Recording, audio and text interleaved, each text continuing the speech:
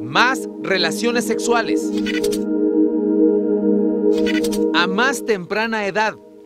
Las niñas y adolescentes en el país están teniendo relaciones sexuales a los 14, a los 15 años. Y menos información sobre sexualidad.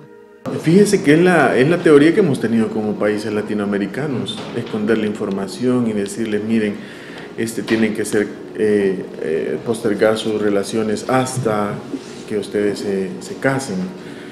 Eh, no obstante, no ha funcionado. Resultado, según los expertos, se mantienen los embarazos adolescentes y no solo tienen un hijo. Por el año 2015, un 9% de las chicas, de adolescentes que atendimos a por la situación del parto, ya una de cada diez ya no era su primer embarazo, sino que era su segundo, su tercero o su hasta su cuarto embarazo. Eh, la tuve a mis 16 años, mm, se me trucaron mis estudios, yo no seguía estudiando por cuidar a mi bebé. Eh, al siguiente año volví a tener otro a mi otra bebé. Hablé con el director de la única escuela de Mercedes de la Ceiba, en La Paz, un municipio con una tasa alta de embarazos adolescentes. ¿Qué tipo de información les dan? Estuvieron aquí de la unidad de salud eh, dando un tema sobre el VIH, cómo protegerse, y cómo usar este, ciertos eh, eh, elementos que sirven para poder este, evitar embarazo y toda cuestión. También hablé con autoridades de la Dirección Nacional de Educación Media. ¿Qué se les enseña a los estudiantes sobre sexualidad, reproducción y consecuencias del embarazo adolescente? ¿Qué incluye? Primero hablamos de, de inteligencia emocional, de autoestima. O sea, la persona tiene que conocerse que vale.